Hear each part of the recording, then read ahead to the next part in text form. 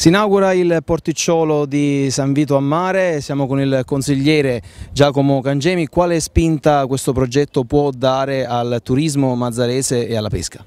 Eh, per quanto riguarda il turismo io eh, mi sono attivato coinvolgendo oltre che aziende persone qualificate per poterci dare una mano in maniera spassionata e disinteressata. Questa città mi avviso ha bisogno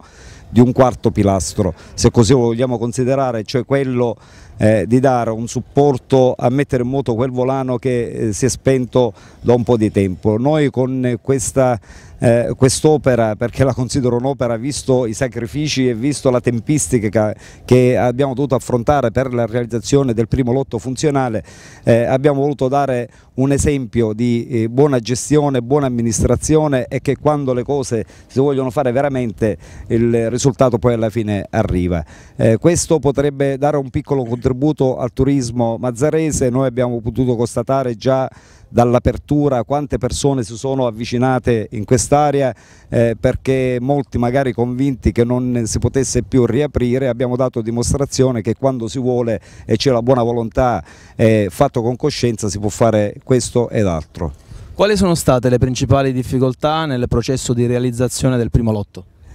Allora, le difficoltà, eh, possiamo parlare di difficoltà già dall'origine perché quando si è presentata l'istanza per ottenere la concessione demaniale di quest'area abbiamo dovuto affrontare un iter oltre che un progetto eh, presentato, quindi un progetto preliminare, eh, abbiamo dovuto affrontare un iter particolarissimo eh, che molte volte scoraggia anche chi ha tutte le intenzioni di realizzare qualcosa a Mazzara. Noi lo abbiamo fatto perché siamo persone che teniamo molto alla nautica del Porto a Mazzara, teniamo molto alla nostra città, vogliamo che molti eh, tra quelli che vorrebbero fare qualcosa prendessero veramente esempio da questa bella iniziativa e che domani eh, poter avere la possibilità di vedere altre situazioni come queste per dare proprio maggiore lustro alla nostra città. C'è già una data per l'inizio della progettazione della parte mancante? E allora l'intero progetto è stato suddiviso in due lotti funzionali. E questo è il primo lotto funzionale, è stato già collaudato, quindi abbiamo la certificazione necessaria per dimostrare eh, che è stato collaudato, l'abbiamo presentata sia all'assessorato territorio ambiente che alla Capitaneria di Porto di Mazzara del Vallo eh, e da lì praticamente solo per quanto riguarda il primo lotto sono venute a mancare quelle condizioni che hanno scaturito quell'ordinanza la 72 2011. Oggi possiamo dire